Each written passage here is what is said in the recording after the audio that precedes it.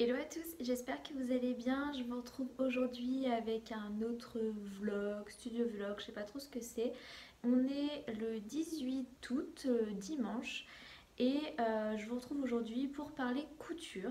Ça fait maintenant, je crois, deux semaines que je me suis acheté une machine à coudre. Ça faisait vraiment très très longtemps que j'en voulais une. Pour la petite histoire, j'avais envie de toucher à la couture au collège. J'avais commencé à à customiser un petit peu mes vêtements. J'avais utilisé un vieux jean pour faire un sac, pour faire une pochette, une petite pochette d'appareil photo. Mais je n'avais pas de livre, il n'y avait pas de tuto sur YouTube comme maintenant. Du coup, euh, ni personne pour m'accompagner. Du coup, c'est une, petite passion qui, euh, qui n'a pas démarré. Et euh, ensuite, au fil des années, c'est toujours quelque chose qui m'a un petit peu attirée. Mais voilà, je, je trouvais ça compliqué d'acheter une machine à coudre, je m'étais un petit peu penchée là-dessus, pas plus que ça. Et quand j'ai commencé ma formation en 2017 TISF, j'ai eu la surprise euh, d'avoir des cours de couture. Donc c'est pas forcément très utile pour la formation, mais euh, j'ai plutôt apprécié les cours. La prof était, euh, était sympa, expliquait bien. Donc on a commencé la couture à la main, puis ensuite on est passé à la machine à, la machine à coudre.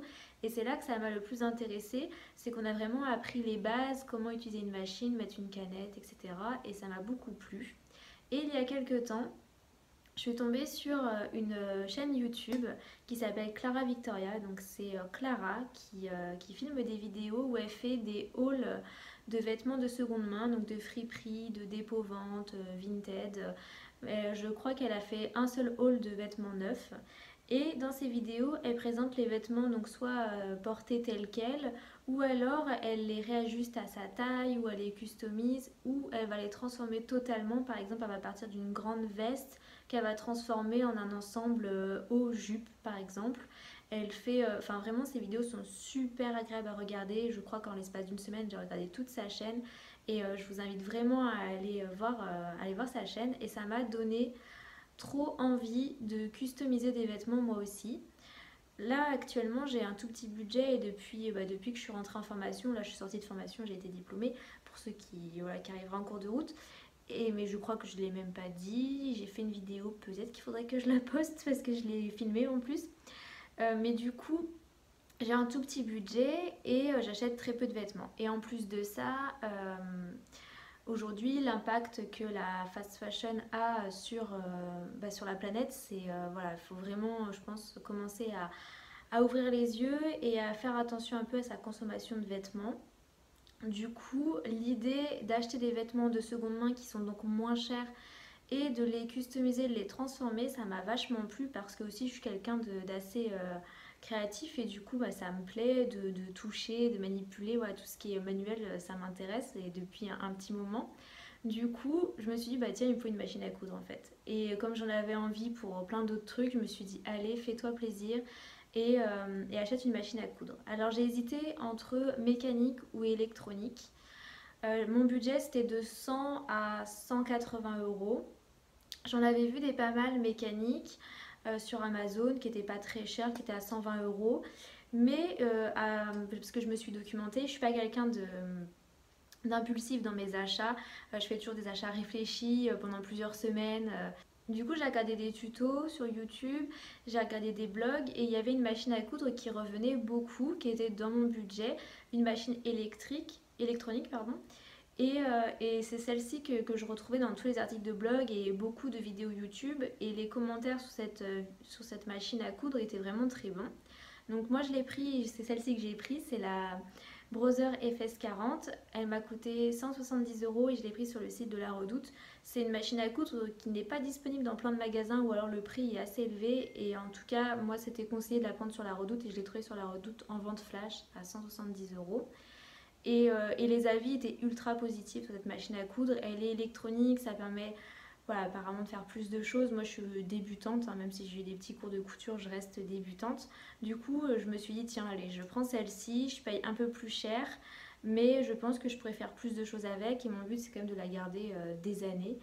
Mes projets avec la couture, c'est déjà de la couture plutôt zéro déchet. J'ai pas envie d'acheter du tissu. Déjà parce que j'ai un petit budget et euh, en plus parce que bah, écologiquement parlant, acheter du tissu neuf alors qu'il y a euh, du tissu euh, un peu partout, je trouvais ça dommage. Du coup, je vais vraiment partir sur une couture zéro déchet avec des tissus que j'ai déjà chez moi, des anciens vêtements que je ne mets plus, que je peux customiser, transformer, qui peuvent servir à, tout un tas de trucs. Et ensuite, le seconde main, les vides-greniers, voilà, je, pense qu'on peut trouver du tissu un petit peu partout. C'est vrai que c'est un peu plus compliqué pour avoir des jolis motifs parce que ben voilà, il faut chiner, il faut fouiller, je pense, pour trouver des jolis trucs mais euh, je m'engage là-dedans euh, et, voilà. Ensuite, concernant les projets que j'ai envie de mener, euh, j'ai envie de faire des, choses utiles pour le moment, qui vont vraiment être utiles pour moi, comme un sac à pain, des, qu'est-ce que, un rouleau de d'essuie-tout, mais pas sous forme de rouleau d'essuie-tout, juste en feuille d'essuie-tout, avec les petits, les petits sacs pour mettre les, les feuilles à l'intérieur, euh, j'ai envie de faire des trucs comme ça pour la maison qui pourront me servir soit à ranger mes affaires, soit à nettoyer. Dans un premier temps, c'est là-dessus que j'ai envie de partir. Je me suis posé la question, est-ce que je fais des tutos, euh, moi qui suis dans le DIY, qui vous montre tout en tuto, est-ce que je vais faire des tutos avec ma machine à coudre? Et, euh, et, en fait, je suis pas légitime à ça parce que je suis débutante et qu'il y a énormément de tutos sur YouTube qui sont très bien faits par des gens qui s'y connaissent. Du coup, euh, je ne ferai pas de vidéo comment faire euh, un sac à vrac, un sac à pain, comment faire une pochette, euh, parce que voilà, j'ai pas les termes techniques et je pense que je ne serai pas la, meilleure personne pour ça et surtout que je débute et que du coup il faut que j'apprenne aussi de mon côté. Mais par contre, j'avais quand même envie de vous partager ça en vidéo et je me suis dit qu'en vlog ça pourrait être super sympa. Donc je vais vous partager mes créations, vous montrer un peu pas à pas bah, la création, les différentes étapes, vous montrer un petit peu quand même, vous montrer quel tuto je suis, est-ce que j'ai réussi ou, pas, euh, et, vous montrer tout ça. Voilà, donc euh, je me suis dit comme ça, ça pourrait être sympa. Donc j'espère que ça vous plaira. Euh, je crois que j'ai tout dit. Et en fait, j'ai déjà réalisé plusieurs créations. Là, il y, a, il y a quelques hier et avant-hier, je crois. Enfin, il y a j'ai eu ma machine à coudre pendant une semaine, j'avais pas de fil donc j'ai rien fait parce que je pensais à aller à Action, euh, parce que je suis allée voir ma maman et il y a une Action près de chez elle et je pensais euh, trouver mon bonheur là-bas donc euh, j'ai rien fait en couture. Ma machine à coudre elle était juste sortie sur la table, je la regardais, j'avais très très envie mais j'ai rien fait. Et finalement je suis pas allée à Action, je suis allée acheter à Monoprix une bobine, trois bobines de fil pour, pour 8 euros, 7 euros, je sais plus, je trouvais ça assez cher après, je connais pas trop les prix.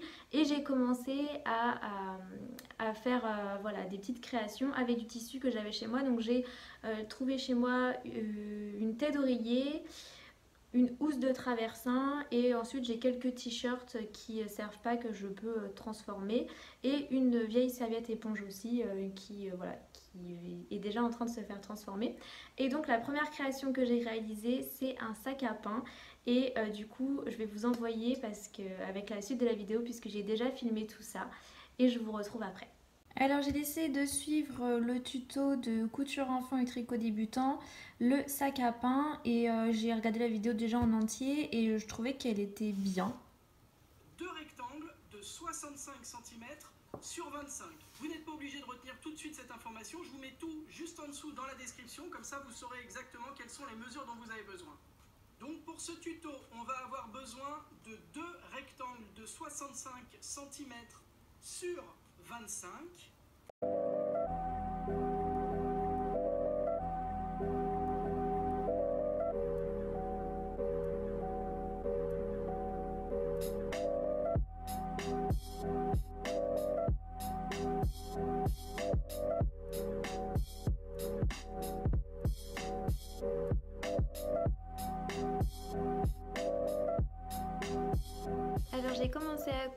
Au début, je voulais garder la couture euh, de la, du traversin en fait sur une couture de fête.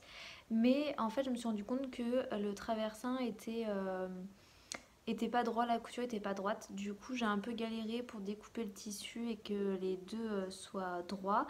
et en plus, j'ai pas des ciseaux de couture, j'ai pas encore d'équipement, ça va venir, mais pour le moment, je fais avec des ciseaux lambda. Du coup, là, j'ai fait la première étape qui est. Je crois qu'on entend. Euh, du coup, je fais des coutures, je suis un tuto qui utilise les coutures euh, anglaises. Et là, j'ai fait la première étape, j'ai euh, cousu sur envers contre envers. Je crois que c'est ça. Alors ma première couture était un petit peu moyenne. mon tissu avait tendance à bouger Et la deuxième couture est beaucoup plus jolie. Donc voilà, je progresse quand même, donc c'est bien. Donc là, je vais passer à la deuxième étape. J'utilise du fil noir sur du, du, tissu bleu. Donc bon, j'avais la flemme de changer la canette pour la mettre en blanc. Et j'ai pas de bleu actuellement, j'ai que deux couleurs. Enfin, j'ai du marron, mais bon, je vois pas quand est-ce que j'utiliserai du marron. Donc voilà, ça sera comme ça. De toute façon, c'est le premier et c'est un sac avec des tissus zéro déchet. Donc voilà, c'est pas grave. Donc là, voici la première étape faite. Donc cette couture-là est pas mal. Euh, sauf là, j'ai eu un zigzag. Et, euh, et l'autre était beaucoup moins jolie. Hein. On voit que je galérais vraiment. Mais là, euh, voilà, c'est mieux. Donc là, je dois ouvrir la couture avec le fer à repasser. En fait, je dois repasser pour que ça reste ouvert comme ceci. Donc je vais faire ça.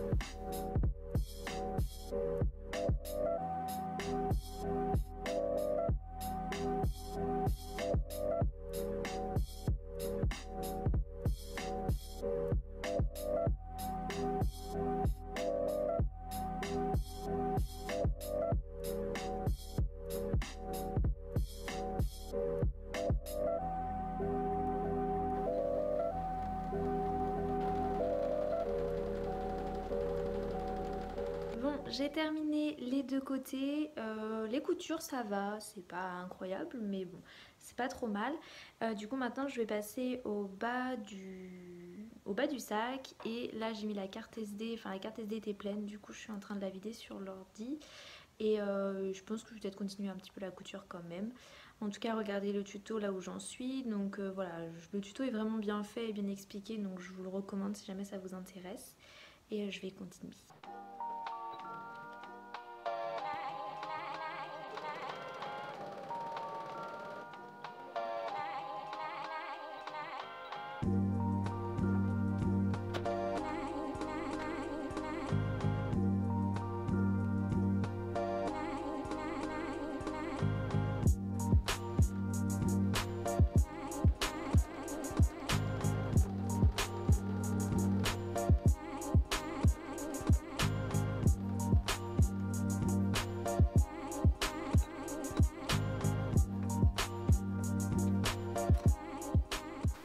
Suis rendue à la dernière étape du sac. Tout est fait.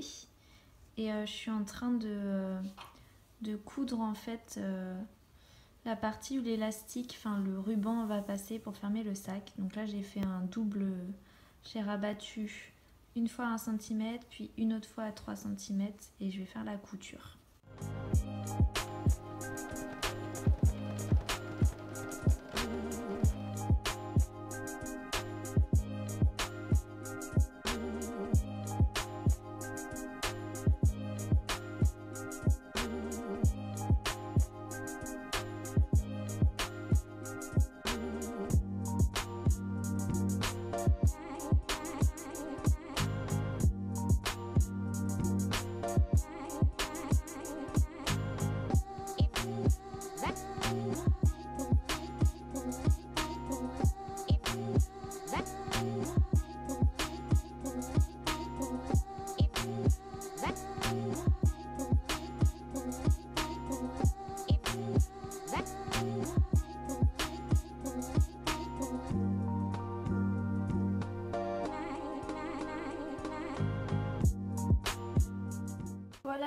Sac ce que ça donne une fois terminé.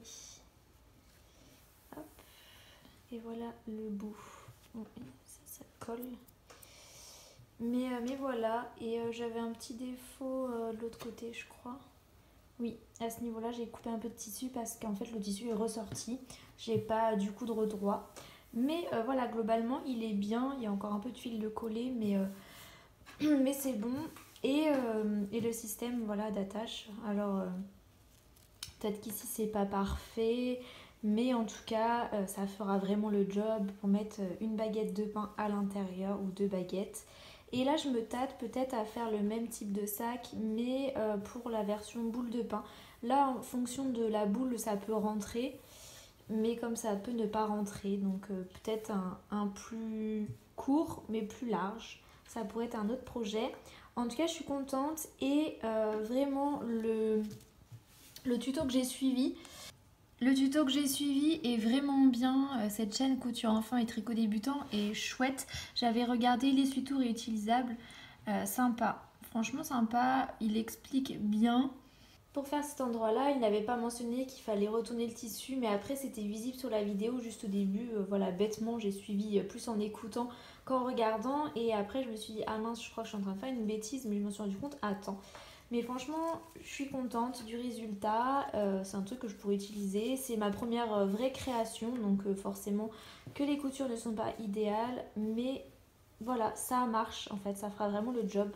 Donc je suis contente. Un autre de mes projets en cours, c'est de faire un essuie-tout lavable, mais pas sous forme euh, comme on peut le voir euh, en tuto.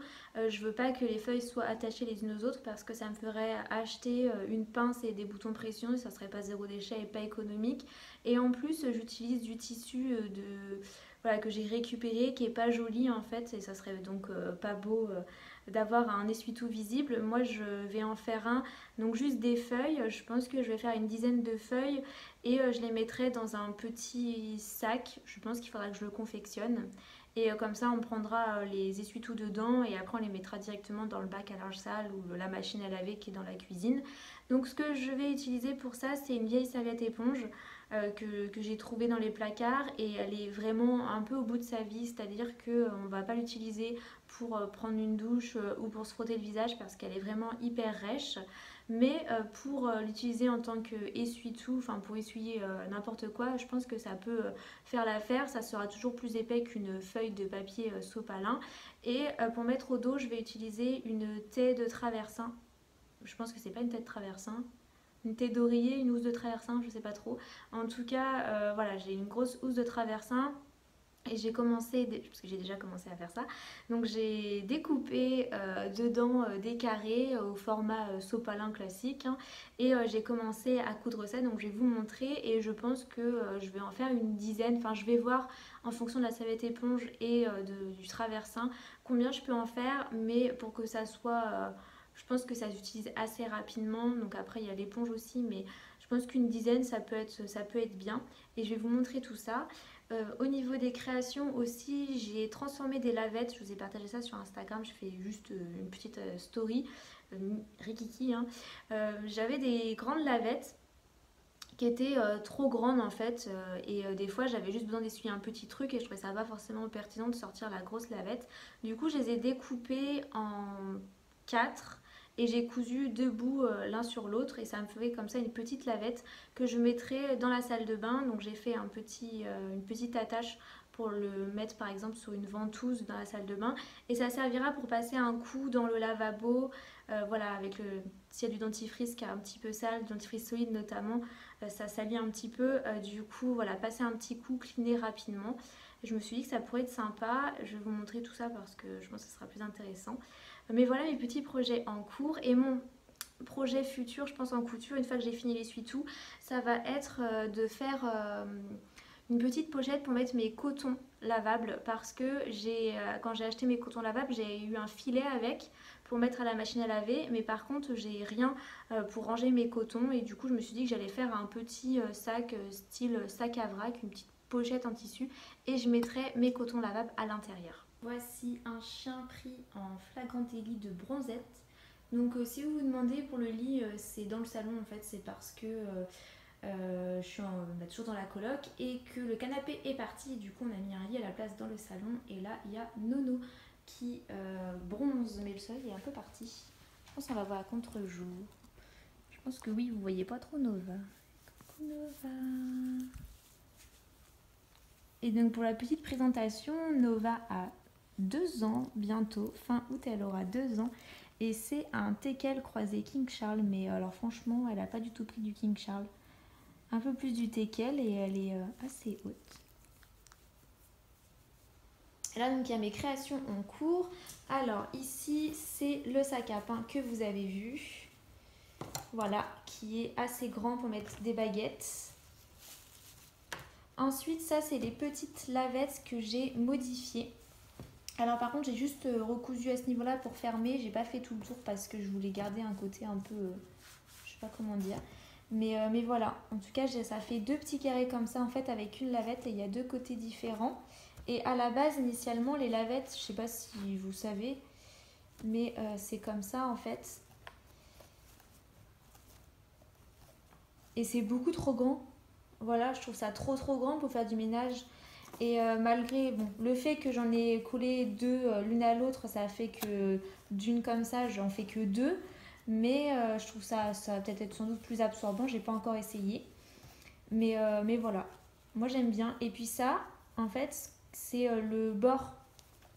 Ce bord là, là je l'ai découpé et je m'en suis servi pour faire le petit, euh, la petite attache.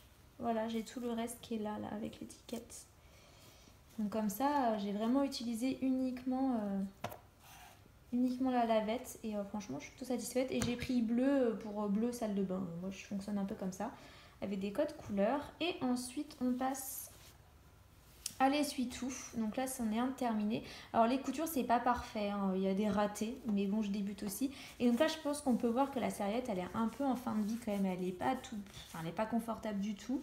Et de l'autre côté, c'est le euh, le traversin. Voilà. Et bon, j'ai eu des ratés au niveau des coutures. Euh, bon, je suis débutante. Hein. Il faut que je m'habitue à la machine à coudre, mais là, voilà. Mais euh, Franchement, pour l'utilisation, ça va être un, essuie-tout. Donc, euh, Mais voilà, c'est la forme d'un essuie-tout classique. Il faudrait que j'en fasse à peu près 10 comme ça, ça serait bien. Et là, j'ai le deuxième, sauf que euh, voilà, la canette était vide. Et du coup, j'ai eu la flemme de la remplir parce qu'il était un peu tard. Donc, il faut que je finisse de coudre. Et euh, juste là, en fait, le bord, là, vous voyez, je suis vraiment plus près. Parce que j'apprends en même temps et je regarde des tutos. Et là, j'avais fait un peu trop loin. J'espère que ce petit vlog vous aura plu. Dès que je vais euh, faire d'autres créations, je vous les partagerai dans des studios vlogs comme ça.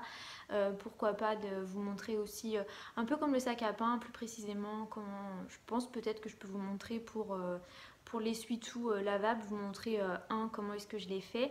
Euh, voilà, en tout cas j'espère que ce petit vlog, petit, je dis petit à chaque fois mais je suis sûre que la vidéo elle, dure super longtemps. J'espère que cette vidéo vous aura plu. voilà, j'ai plus rien d'autre à dire. Je fais plein de gros bisous et je vous dis à très bientôt.